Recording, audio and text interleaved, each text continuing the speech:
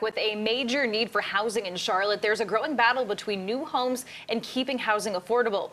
Now, neighbors in Noda are rallying against a proposed apartment building that would tower over the small mill houses in that area. Our Maureen Wirtz is live for us now. And Maureen, you've been speaking with neighbors and community leaders about this. What are they concerned about? Annie, well, this is the lot right off of 36th Street where that proposed apartment complex would be. But community leaders and business leaders in the area just voted against rezoning this, and now they're taking their fight to the city council. The sign is up, but the fight isn't over. It's going to block out the sun. We feel like, you know, it's massive. You come off of my front porch and it's, it's, you know, it's right here. Candace Oliver has lived in Noda for the last 14 years. She says there's been a lot of change in the neighborhood.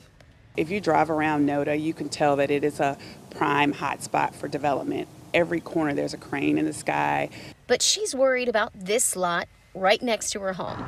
This month, city leaders are considering rezoning it so a developer can build a new five story apartment complex that was one we were like, well, wow, not only it's, it's if it's massive, but it doesn't even fit within an old mill type of vibe and environment. It's a story we've seen play out all over Charlotte.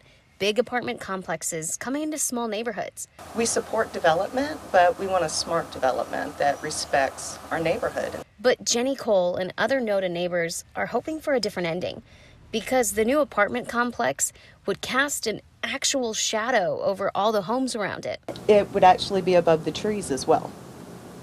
So, there would be a four story parking deck that would be above every tree that you see in front of me. The developer, Ascent Real Estate Capital, couldn't talk, but they did write that they're looking forward to expanding housing choices and they're excited about the property here. A feeling which isn't shared by Candace the feeling and the vibe of Noda. Like there's not a lot of Nodas within Charlotte.